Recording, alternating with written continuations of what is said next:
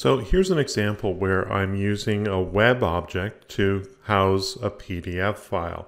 And this is specifically related to my custom table of contents solution. So if I open up the table of contents, you can see that it's behind the web object. If I go to the previous slide, it's easily visible. But if we end up on the slide where the web object uh, resides, of course, the table of contents is hidden behind the web object.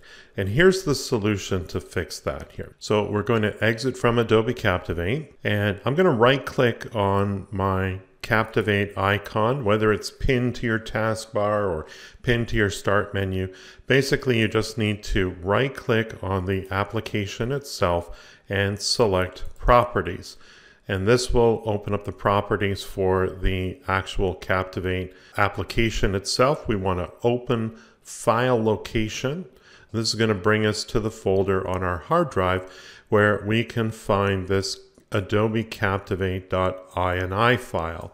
Now you can't edit it typically from this location here, but what you can do is you can copy it, minimize this, and we will right click and paste this to our desktop. Temporarily, of course. Now I'm going to right click on this and select edit. It's going to open up in my uh, notepad application or if you're using uh, a Mac, this would be text edit, of course. What we want to change is this item right here, this use widget 7. We're going to change that from 0 to 1. I'm going to close this now and save those changes. We're going to open up the folder where we originally got the INI file from and we're going to drag and drop this into the folder here. It's going to prompt us to replace the file in the destination, give it a check mark, and you will need to provide administrator permission to move this to this folder because this is a system folder. So let's hit continue. And now what we can do is we'll launch Adobe Captivate again. And let's preview our course. And I'm just going to navigate to where that PDF document is.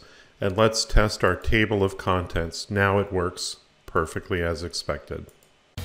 If you thought this video was useful, please like and share it with your colleagues.